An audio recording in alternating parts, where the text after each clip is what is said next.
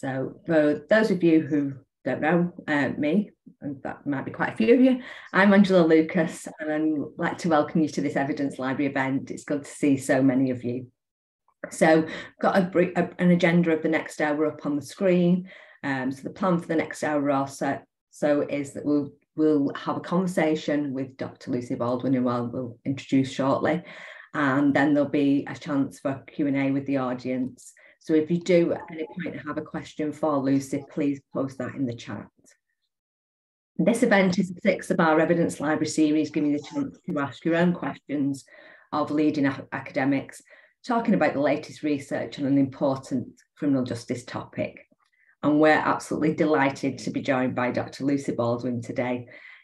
Lucy is now an associate professor at Durham University and Lucy has worked in the criminal oh. and social justice sector for over 30 years and is also a qualified social worker and probation officer.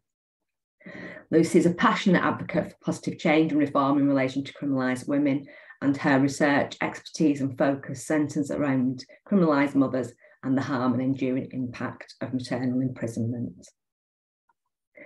So Lucy has summarised the evidence based on maternal imprisonment, which was published by Clinks in December 2021. Um, and hopefully you will have all received a copy of that in the email that Paul kindly sent over to you. And it is available on our website and Paul will pop a link to that in the chat. So firstly, Lucy's going to take just a few minutes to introduce her evidence library review. Uh, and then I'm going to pose a few questions and ask her to share her thoughts on those questions that I have. Then uh, we'll open it up to you all to ask your questions.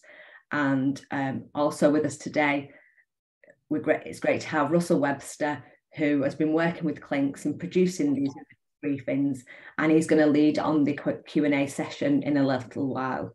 So again, just to reiterate, if you have a question for Lucy, please post it in the chat and Russell will be collecting them together for when we have the Q&A bit. So Lucy, if you just give couple, spend a couple of minutes just giving an overview of the, the briefing, uh, that would be great. And then I'll come to you with a couple of questions. Will do. Um, I probably first need to let you know that I've got a sleeping baby on my knee, a sleeping grandchild who um, I've managed to successfully time his nap to now by acting like a children's entertainer all morning to keep him awake. So I'm hoping he'll um, stay asleep. but unexpected grandparent duties this morning um, because of a poorly daughter. So a timely reminder that motherhood never ends um, and grandmotherhood never ends. Um, uh, so I guess I guess his, his presence is welcome, but hopefully he'll stay quiet. Um, so yes, thank you for having me. Uh, and it is so lovely to see so many um, familiar faces and some unfamiliar faces and such a varied audience, which is nice intimidating, but nice. it is genuinely nice to see you all. Um, and I hope you found the uh, maternal imprisonment briefing interesting. It's very difficult to condense all of the issues relating to maternal imprisonment into a briefing that short. And that was the biggest challenge, trying to condense that for me and for Russell, who was said, too long, Lucy, you need to shorten this because um, it is it is very difficult. There's a lot to say, and some of the issues in maternal imprisonment are actually quite complicated. Um, but one of the things that, and I guess I'm probably preaching to, to, to the converted here, is that we know that most women in prison are mothers we don't have any accurate statistics. Um, even now, we're gathering them, but we, we don't have accurate statistics because some mothers, understandably, are quite reluctant to disclose that they have children. Um, although the majority do, I think, but it is um, there are certainly a number who are reluctant, and rightly so sometimes because they fear the um, consequences of revealing that they have children, particularly if they're not in what some people would view as ideal care situations. So an informal estimate is, is I think that around about 80% of, of women in prison are mothers, but realistically it could be much higher. We know it's about 66, but I think, you know, from all of the research I've done and the polls that I do when I'm in prison, it's definitely higher than that. Um, and particularly when we count grandmothers who are really not counted in the statistics. And, you know, as evident today, being a grandma, you know, you're still a mom. You, you're very much a mom as, as well as a grandma. And I think certainly in my research, I found that some of the stigma and shame that accompanies maternal imprisonment is really um, layered and exaggerated for mothers because they have the, for grandmothers, sorry, because they have the additional um, shame, if you like, of the of the judgment from adult children, and that they wear that very differently um, to mothers. And maybe we can talk about that. And certainly long term, um, for grandmothers, there's lots of issues around that stigma and shame of having been a mother in prison. Um, so we know that most women in prison, particularly mothers, have gone through or are going through currently traumatic circumstances. But what we I don't think very often do in the criminal justice system is is count maternal trauma. We talk about being trauma informed in our practice, but do we really count maternal trauma? Do we include it in our practice? Do we recognise it? Um, and I, I think perhaps from my research, there's, there's, there's, we don't enough.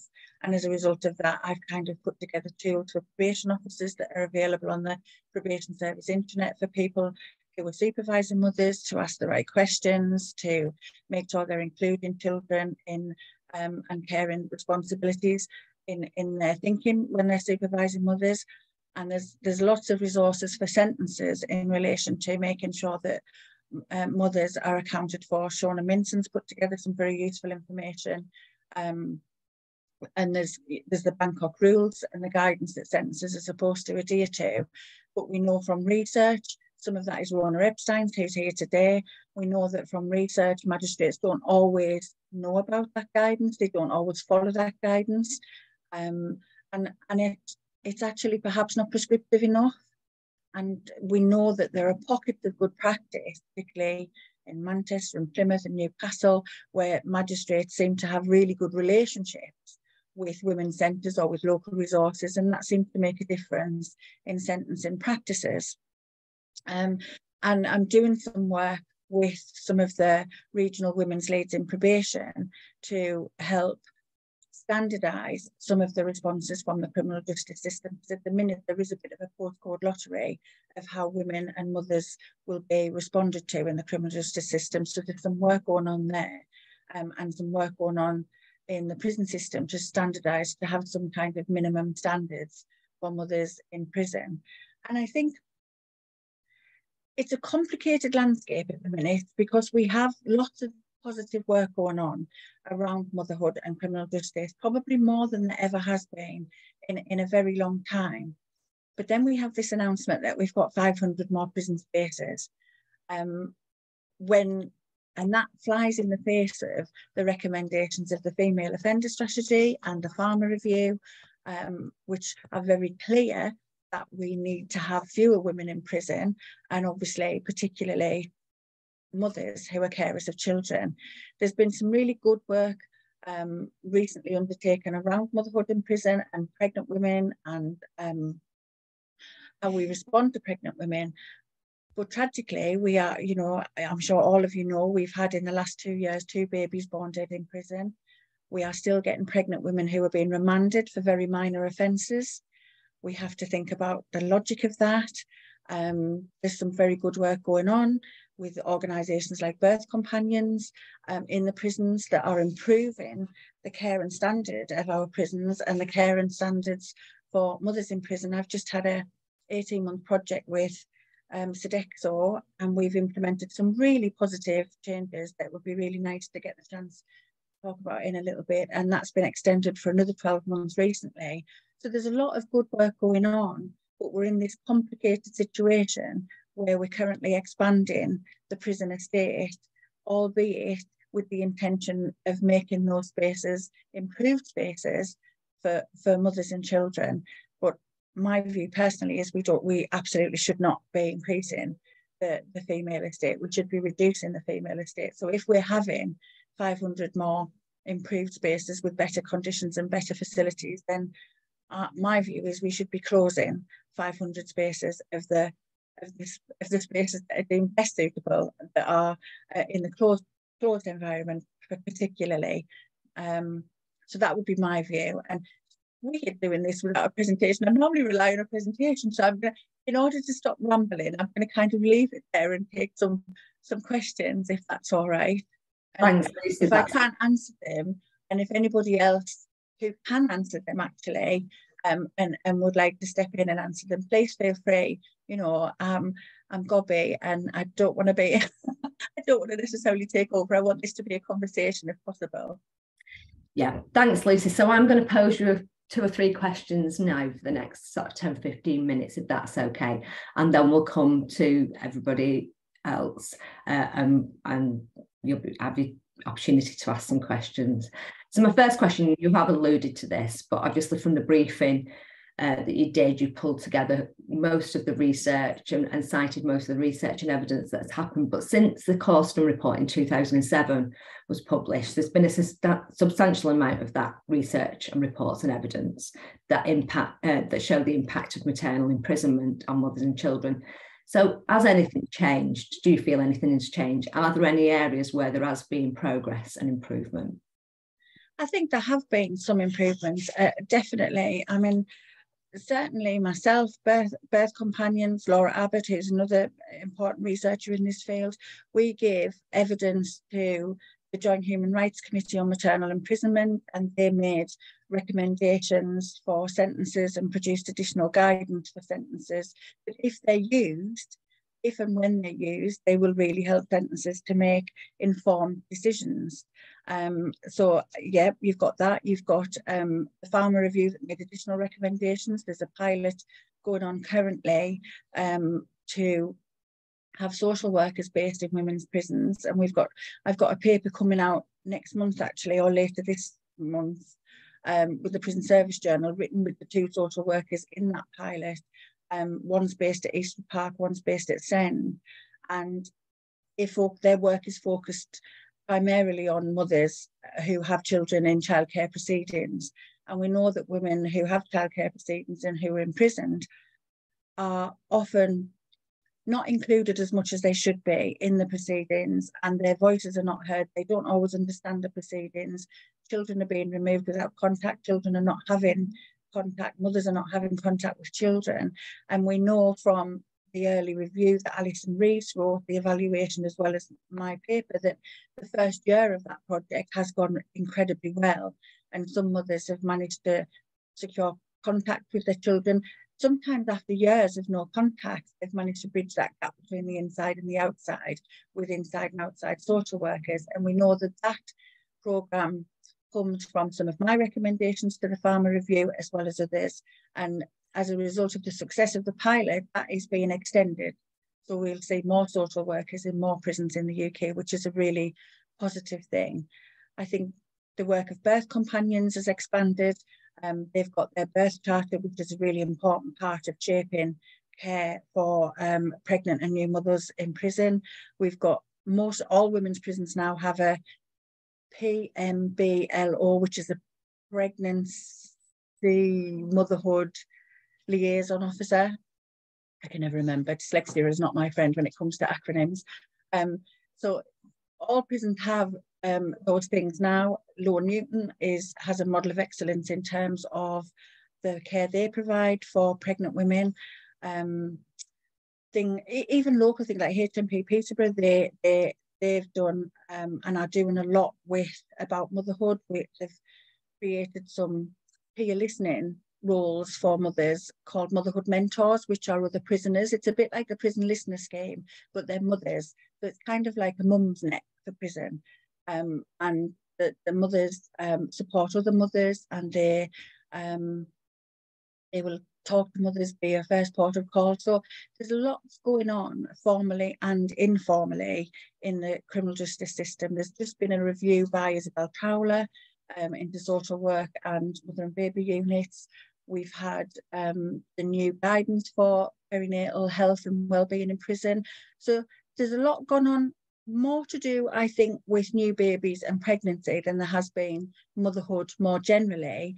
And that's where my work, I'm in the process of developing a motherhood charter with the support of HMPPS and lots of people who we've just put together in a working party, which will provide a set of minimum standards for mothers in custody.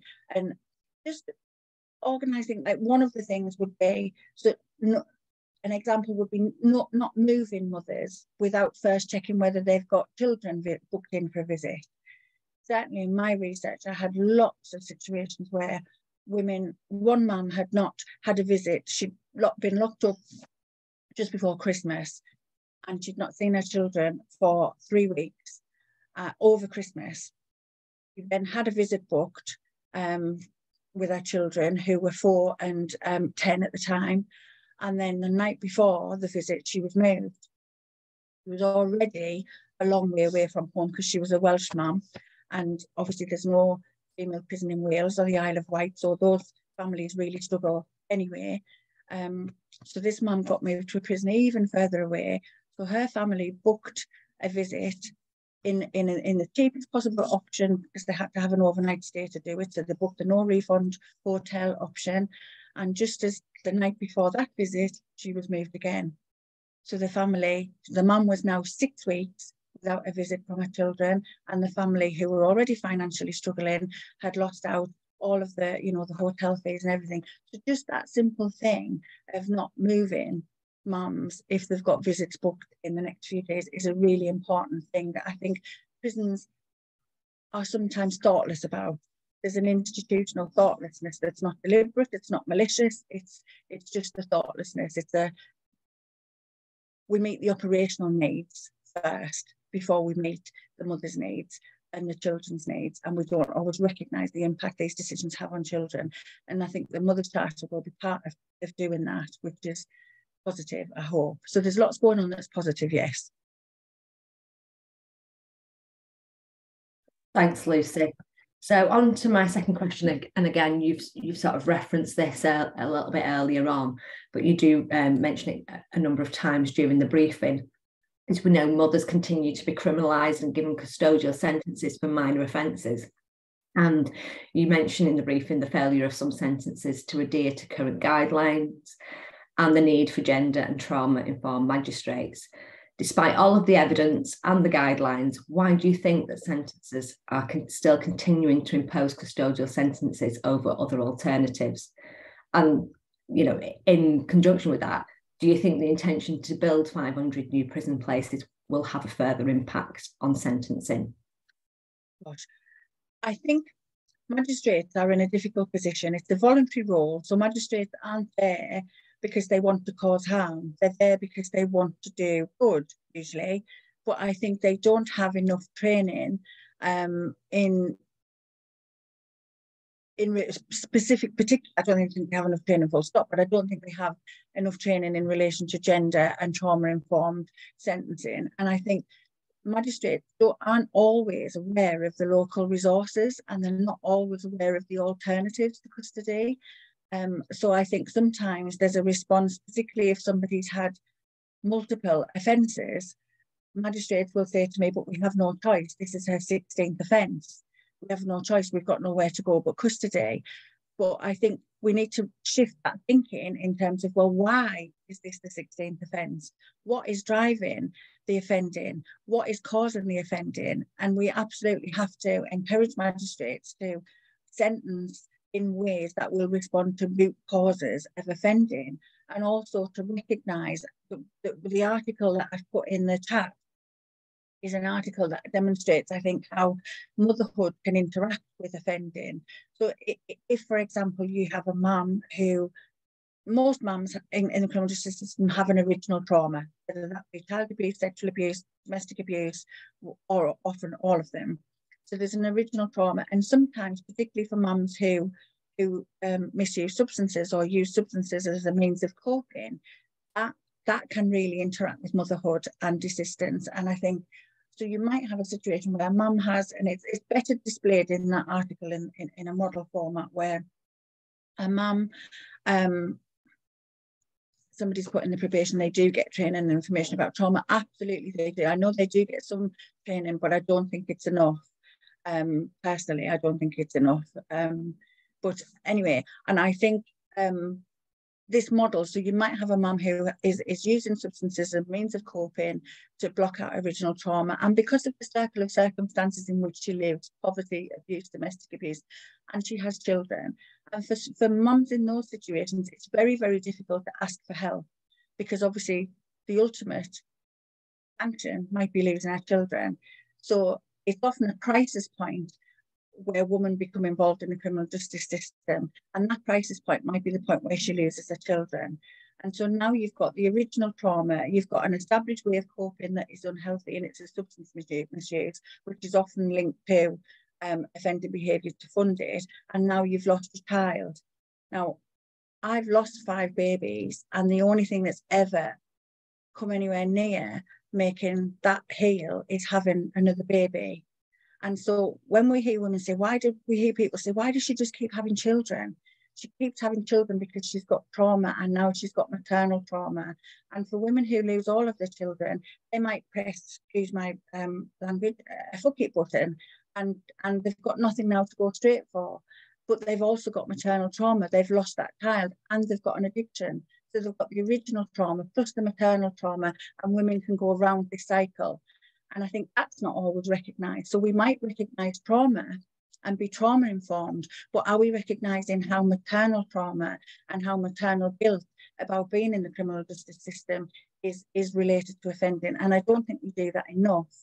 And I also think that magistrates are not helped by the fact that not all women who are sentenced, not even all women who are sentenced with children have a PSR.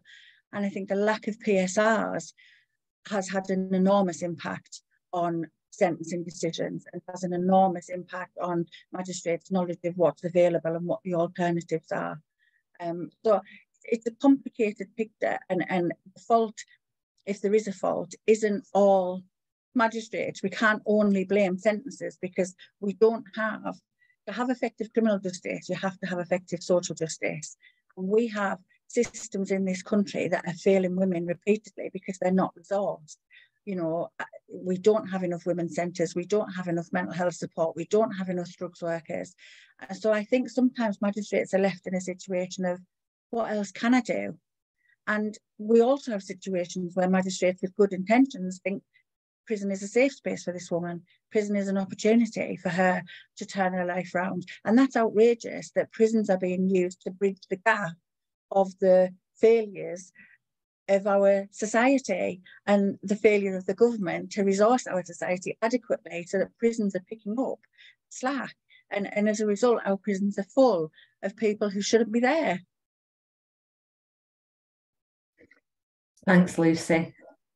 Um, got, I'm going to hand over to Russell because we've got quite a lot of questions coming through on the chat now. So I'm going to um, pass over to Russell and he, he's going to ask people to pose those questions. Thanks, Russell. Thanks, Angela. So uh, do keep the questions coming. Just post them in the chat, please. the first one I'm going to ask S. Beaton. I'm, I'm, I'm sorry, Ms. Beaton. I, I can't see your first name off, off your Zoom profile. But um, if you'd like to kind of ask your question to Lucy, that would be great. Yes, sorry, it's Sandra Beaton from the Association of Panel Members. I just wondered if Lucy could describe some of the changes that were introduced in the Sodexo prison, please. Well, we had the motherhood mentors, which I mentioned, um, which we recruited prisoners um, who into the role, uh, who were carefully chosen, um, who then act a bit like I don't know if you know about the prison listener scheme, but it's a it's a scheme where prisoners are trained by the Samaritans in basic counting skills and listening skills, and so the motherhood mentors they act in that role, but specifically for motherhood. They're mothers themselves, they understand the issues of, of what it's like to be a mom in prison and they have all of the advice and guidance on things like ROTL, which is released on temporary license or childcare leave or ideas, sharing ideas about how to stay in touch with children, um, how, how to be creative in your contact with children, how to handle a first visit, how to say goodbye at the end of a visit. So that's one thing. We also have done um, some staff training with um, officers for specifically around working with mothers in custody. And that might sound as if it's unnecessary, but actually it's really not because you have a lot of officers, particularly young officers, who are not confident about asking questions around motherhood because they don't want to take the lid off a Pandora's box and ask questions about something they think is going to bring a flood of emotions. But research, my research and lots of other people's research has really shown very clearly that mothers in prison need to be um, they need to talk about their children. They they want to talk about their children and they need that freedom and comfort to be able to do that. And there's incidents in my research where mums have actually stopped themselves from killing themselves simply because one officer had remembered the child's birthday and another had asked how your children were and they had they had provided stark connections for the mums to, to kind of keep them alive. And another situation where a mum had not had contact with her children for 30 years and had had 10 prison sentences and had absolutely given up. And an officer said to her, what they're going to find you, Mary, when they when they grow up. What kind of Mary do you want them to find? And just asking those questions, just just understanding the maternal role and the grandmother role is an important part of care and consideration, and especially when we know that women in prison make up almost a quarter of all of the incidents of self-harm in the prison estate, despite being only 4 to 5% of the population. And my research was very clear that self-harm and suicide attempts can be directly related to the pain of separation from children. And it's important to remember that it's not just mothers who are in contact with their children, but mothers who have permanently lost the care of their children they're still mothers and they still need to be responded to mothers. They still have that maternal identity that's important, that grief, that shame, that guilt. It has to be responded to. And so the work at Sodexo has been about embedding that thinking into everyday work. And it's made a significant difference in lots of big ways, but little ways as well, that would probably take me too long to go into. But it's been a really positive project. And we also put together, sorry, one, one other thing, we put together a program for mothers, which was just lovely, where the mothers had, and it's not a parenting program, and that's the really important thing. It's, it's just a safe space to think about motherhood, to think about responsibilities of motherhood, to think about the impact of your sentence on your children, to think about how to prepare for release, because that's a real challenge. You know, everybody assumes it's all going to be okay when mum gets out, and it's not. you know, it's really challenging to renegotiate your maternal identity in a family. And so this program did a lot of that, and the mothers really got so much out of it. I should have brought some of the evaluation comments, the, the feedback, but one mum actually looked 10 years younger by the end of it. The staff actually said to her, What have you done? How have you had Botox in prison? She said, No, I haven't. I've just been on this course and it's really helped. And so I think just creating opportunities and spaces where mothers can be still mothers and talk about their children is important part of what we're doing. Thanks ever so much, Lucy. And your your comment on the ROTL temporary release reminded me of a conversation I had recently with, um, if I remember right, the prison governor in Guernsey, so a different jurisdiction, but he had a, a rule of thumb where all women got ROTL not focused necessarily on finding employment, but just on maintaining that maternal role or their role within kind of families, just to make that transition uh, afterwards better. Anyway, I'll, I should shut Sorry. up. If, yeah. Could I come back, please, very quickly on the point about um, uh, lived experience? The uh, the fact that mothers are helping each other in prison is is is fantastic, and of course uh, obvious uh, but they, wouldn't it be possible for them in the youth estate? They use, they have used, or you know, not used. That's the wrong word. Young people to train magistrates. So the voice of lived experience in magistrates training, I think would would absolutely get whatever message needs to be gotten over to magistrates very quickly and very very easily. I couldn't agree more. And actually, that did happen in Scotland um, because Scotland had been planning to build another really big women's prison. And the local magistrates, I don't think they're called magistrates in Scotland, but whatever they're called, went to um, Glasgow 218, which is an amazing women's centre, as well as I think the Willow Centre, and spoke to women. And um, women said, prison's just going to make us worse. It makes us worse. Please don't do this. And the conversations they had with magistrates were amazing. And Scotland actually then halted uh, their plans to build another prison and again instead diverted funding from that project into creating better equipped community women spaces for women, which we absolutely know um, are effective for women. So I think I think you're absolutely right. And the current project that's going on with sentences that's hopefully going to develop into um, a framework for sentences will definitely include a lived experience, presence and voice. Couldn't agree more. Thanks, Lucy. Thanks, Sandra. I'm going to move on now to um, ask Kevin Robinson to ask his question. Lucy, hello, good morning. And um, can I just say thank you for the, the starkness and brutality of your motherhood in and after prison. Absolutely superb read. Um, I'm a former probation officer, and um, a lot of the stuff you said uh, makes a lot of sense. Um, I'm also an advocate of not having women in prison. Um, but the question I'm going to ask you is, is that um, some of the cases that we see where the problems occur is, is that we don't know if a woman is pregnant when they go into prison. Um, do you think that it's it, it, should be mandatory for all women going into prison should be tested uh, it, it, to see if they are pregnant in order to make sure that uh, uh, we have the best care available for them uh, if any problems do occur? Thank you, Kevin, and thank you for your comments. Um, and if anybody is interested in motherhood in and after prison as a book, it's available from Waterside Press. That's my great moment. I loved it. I love writing it.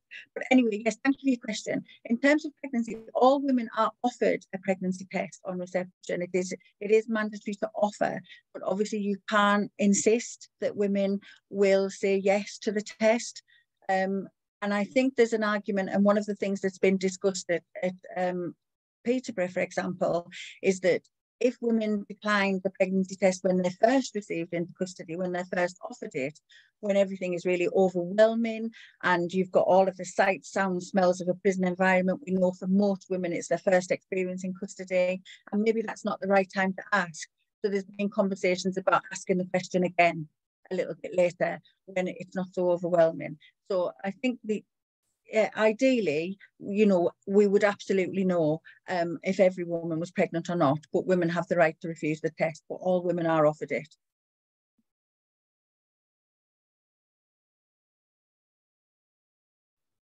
Thanks very much, Lucy. I'm going to move on now to a question from uh, Katie B. Katie, are you there? Oh, yeah. Hi there. Hi, Lucy.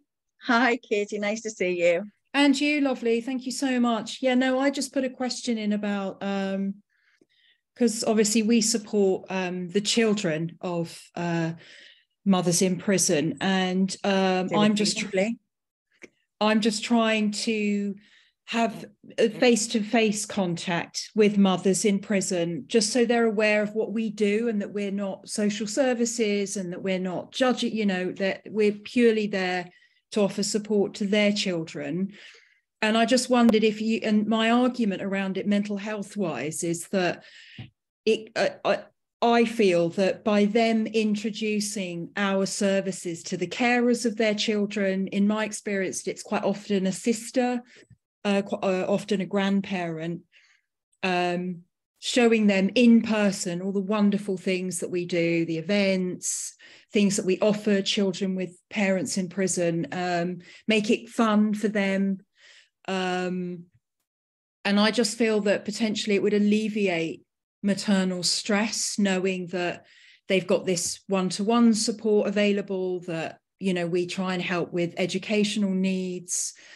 Uh, and I don't know what you, I mean, I spoke to you briefly about this, but um, I just wondered if you agree with that, that it, you know, it gives them also that they're, there's an agency involved that um, they're recommending us, they're reaching out for the support for their children. And I, I just wondered if you agreed really that I'm, that it's offering them agency.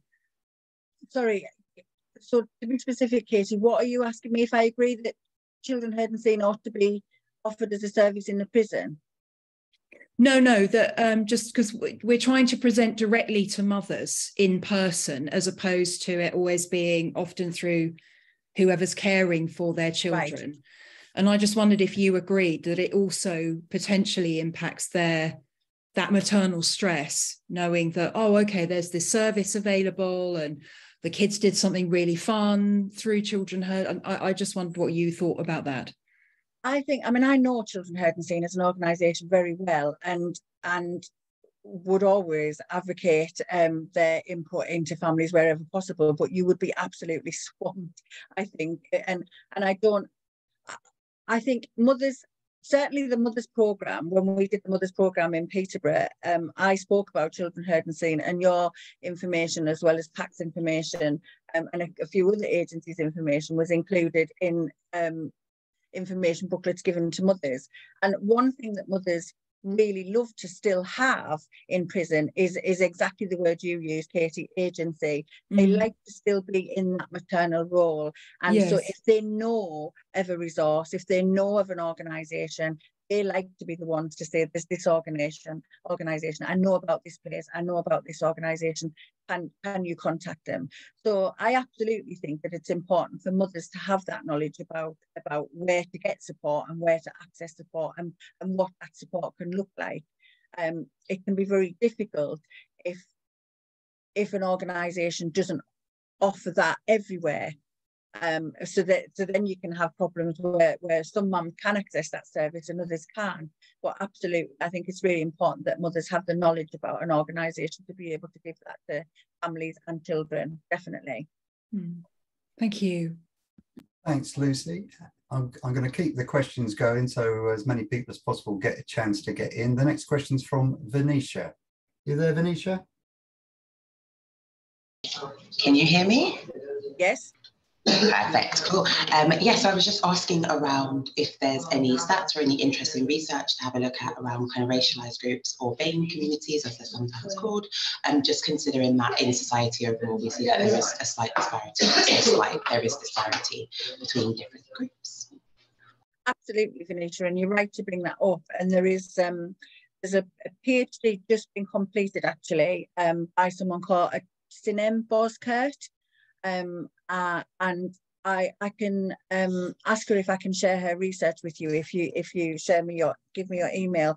Because one of the things that I highlighted in my research was that we don't know enough about um, or ethnic minoritized experiences of, of women and mothers in prison. And there are specific issues. For example foreign national mothers in prison they have very distinct and specific needs that often go really badly unmet um, and they're impacted very specifically and differently by um, imprisonment.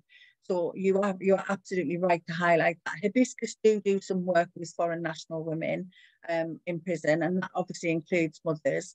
Um, but have a look at Sinem Bozkurt's work. There's another um, Monica Thomas is somebody else who's researching in this field, and I've got um, another edited collection coming out next Easter, and there's a chapter in that book written by both Monica and Sinem about um, racially minoritized mothers' experiences of criminal justice. So you're right to identify there just isn't enough out there, but I think we will start to see an awful lot more now.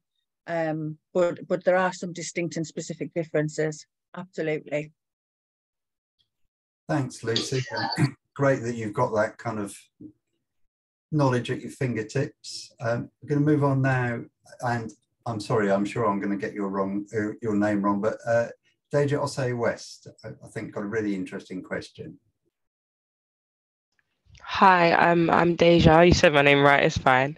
Um, I just wanted to ask. I work um, with residential women's centres at the MOJ, and we're just trying to figure out how we are going to accommodate children, or if we are going to accommodate children. And I just wanted to find out how you think it would work, or if you think it's beneficial, whether that's to mothers or children. You mean in women's centres in the community? Yes. I think if you look at um, if you look at the model of um, House, for example, um, and the Jasmine Centre in Plymouth, they are resources that are, can be used as alternatives to custody for mothers and they do accommodate children as well. And you've also got Phoenix Futures. So there are some existing models that you can look at that, that do already do this. and the research is that they work very effectively. Particularly, I mean, the Clevie House model, for example, they they would take in mothers and children, but they they provide childcare for the mothers whilst the mothers are in the resource so that the mothers can focus on their criminogenic needs and have those met, safe in the knowledge that their children's needs are also being accommodated um, when they're not with them. So it gives that parallel approach to care. So I absolutely think that you, it, it, there are lots of advantages of alternatives to custody that, that will accommodate mothers and children. And even I think if we better resource women's centres um, not necessarily for residential on a residential basis, but if we if we better resource women's centres to be able to accommodate children more, um, so that mothers can access the services in the women's centre without necessarily having to wait until their children are school age or having to wait until they've got childcare. You know, it would be nice if the women's centres were able, and some do, but often they're not resourced enough. But it would be nice if women's centres were able to offer childcare on site so that mothers could access those resources. Um, and I think the other thing, we need to be clear that women's centres ought to be resourced to facilitate um, ongoing care so that women are not actually actively at that moment in the criminal justice system, but they might be at risk of being in the criminal justice system, or they might have left the criminal justice system but still need that support. So I think we really need to expand the role of, of women's centres, but that has to be suitably resourced and suitably fund, refunded because the expertise in the women's centres is phenomenal and the support that is available to women in women's centres is, is, is incredible, but it's very stretched. And mm, just one example, just come back to that. The Glasgow 218 Centre, sorry, Russell, I know you were about to jump in there. the Glasgow 218 Centre in Scotland the difference when you go to Glasgow 218 is palpable because Glasgow 218 has permanent funding. So all of the staff there have been there 10 years plus, and that is one thing that really affects the women's centres because they're all, or, or most of them are have have time limited funding. So staff are on time limited contracts, which which is really vulnerable. It's unfair, you know, it's unfair to have such wonderful work at, at risk all of the time. And Glasgow, because it's permanently funded, you see, it gives the, it gives the women the message that it, they're worth it. When you go into the building, it's a beautiful building, it's well resourced, everything in there is lovely. It's not reliant on donations, it's not reliant on, on goodwill. It's it's acknowledged that it's a permanent, important resource. And I think we have to have some permanent funding for women's centres if we're to get better at women's criminal justice. Thank you so much for that. Thanks, Lucy, and thanks everyone for swapping so much knowledge and expertise and resources in the chat. Um, I'm going to come to Paula Akyol in, in a moment, but uh, Lucy, I wanted to abuse my position as facilitator just to, on the back of that question to say what you thought of the planned um, HMPPS new alternatives for women in custody, the one that's being planned in, in Swansea, whether you think that's um, you know, a, a, good model to look going forward. So kind of prison in the community with kind of curfews but not bars. I think anything that is based in the community for women has lots of strengths and lots of positives. Um, so I don't like the idea of being a prison in the community. I don't think it, it, should be seen as a prison in the community. I think it should still be seen as a community resource for women. But I think I think community resources for women are important. Prison should be it should be used far less frequently than it is and for only the most extreme of, of, of offences. And that's not to say there isn't some good work going on in prisons, because there are. But I think most people who work in women's prisons that I've spoken to, and, and certainly my lovely colleagues at Sodexo, they would they would genuinely say to me, in fact they have, head of, you know, um, female residency has actually said to me, most of our residents shouldn't be here. And, and, and I think that acknowledgement and that recognition from within the prison is incredible. So I think for me, Russell, anything that is community based is a positive. Thank you, and apologies to everyone for sneaking that one in there. So, uh, Paula, Paula Akyol, uh, a really interesting question coming up. I think you'll like this one, Lucy. Oh gosh. Hi there. Um, first, just apologies if you can hear some background noise from me today. I'll try and keep it short in case you can. I'm calling from um, Children of Prisoners Europe, and it's lovely to be here. It's really, really nice to see some familiar faces and new ones. I just had a question, Lucy. I wondered if you were aware of any research that looks on the impact of maternal incarceration, but specifically looks at the gender of the child and if the impact of this imprisonment is how it differs uh, per girls and boys and how, how that gender, from more from the child's perspective, how gender I lenses. Think Murray and Farrington did some very old research um, about the difference between um, how parental imprisonment affects girls and boys. And it's widely accepted that maternal imprisonment affects children differently and maternal imprisonment has a more significant effect than paternal imprisonment. But there is a definite lack of research in this field more recently. There is somebody doing this currently. I need to try and remember who it is. I had a PhD student contact me who's doing exactly this. I will try and find out who it is, Paula, and get back to you. So there is hopefully going to be some new research coming out on it. And I don't know if anybody else knows of any other um, but since Murray and Farrington, there's not been very much about the differences in gender. But Sarah Beresford did something on, she did a report for Prison Reform Trust called What About Me? And she talked about that a little bit. Um, uh, and I think agencies would probably, some agencies like PACT and Children Heard and Seen would probably be able to give you some descriptions about um, the impact of maternal imprisonment as opposed to paternal imprisonment from an anecdotal perspective. Um, but I think there's an acceptance that it's harsher, purely and simply because logistically, when a, when a mother goes to prison, the primary care um, relationship is interrupted. Um, you know, although I do think we often quote the Caddle and Crisp study as being um, tragically a 1997 study, we still quote Caddle and Crisp statistics. So there absolutely needs to be a large up-to-date study about the circumstances of children. And I think gender has to be built into that because we still quote the fact that, you know, in that study, I think it was 14% of children were cared for by fathers when a mother went into prison.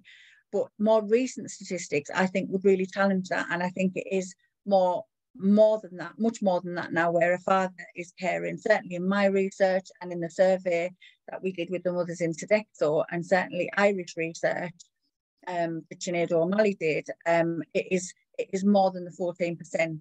It's more, it's nearer the 20 to 25% cared for by um, fathers. So that would change, I think, some of the understanding um, around gender even that Caddle and Murray and Farrington had all of that time ago. So you're right to identify it as a really important area in terms of lack of knowledge. Thank you, Lucy. Thanks. Thanks, Lucy. Uh, Rona Epstein, who I'm sure you know and does lots of work in this area, has just put an interesting comment in. Rona, would you like to share that with Lucy and, and the rest of us, please? Yes. Um, sorry, Rona, are you going to speak or do you want me to? Are you there, Rona? Uh, can you hear me? Yes, we can. Yes. Yes, um, yes, I was commenting on Lucy saying that she and also the people working in Sodexo uh, have a wide belief that about half the women in prison shouldn't be there. Uh, and this is com comment goes back over 20 years to um, Professor Wedderburn's study in 2000 on women in prison. Uh, they shouldn't be there. And uh, one of the reasons they are there for minor offences like shoplifting is that in the um, Criminal Justice Act of 2003, um, which is still the basis of, of the way sentences work, um, it says prison should be, uh, as a last resort, it should be reserved for those whose offence is so serious that neither a um, fine or other disposal would do. And it goes on to describe seriousness. Now, we think of seriousness as the most terrible harm, rape, terrible assaults, and so on. But that isn't actually the law in the Criminal Justice Act. The law is that those are the most serious offences, of course, but that offense becomes serious if it's repeated. So that's how, as Lucy was saying, the magistrates say, um, you've been up here before us for 10 occasions of shoplifting. What can we now do? Now, this needs a change in statute because I believe that repeating a minor offense does not make it serious. And I, I would say to everybody here, uh, if you'd like to get in touch with me, we can talk about this because I think we need a campaign to change. It's only one or two sentences in the Criminal Justice Act, but it needs changing, particularly when we look at mothers, pregnant women, and so on it, um, a minor offense is a minor offense. It is a social problem if it's repeated, but it doesn't become a serious offense. So we need other measures to deal with it. Thank you.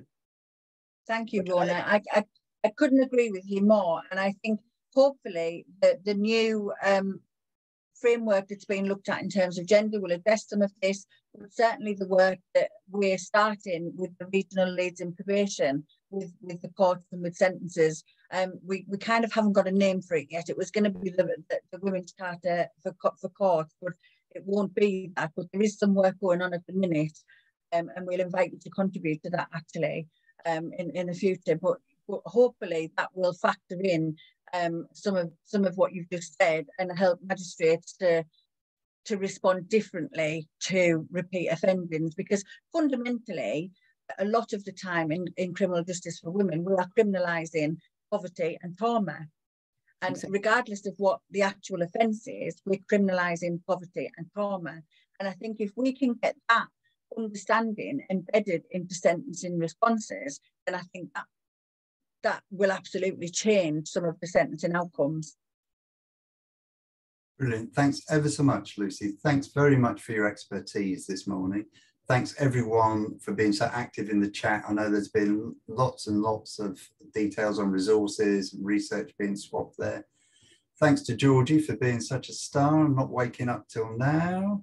Isn't he uh, being a good boy? He's been a very good boy. I'm hugely impressed. And I'm just going to turn back to Angela now to um, uh, wrap things up for us.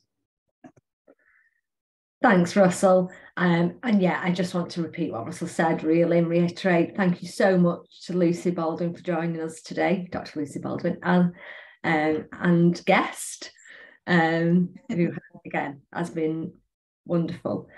Um, thank you all for taking the time out this morning to come along. It's been such an insightful, interesting discussion. Um, just for the, we've got a couple more minutes, but just before we do, um, and I've just posted a link to our um, feedback evaluation form in the chat. If you could just take a couple of minutes to fill that out, we greatly appreciate it because obviously this, um, we like to use your feedback to develop further evidence library sessions. We've, and we've got others coming up in the new year. The video that of today will be online soon, so you'll be able to watch watch that back and uh, and also pass on to any colleagues or when that's published who weren't able to be here today or anybody else in your network.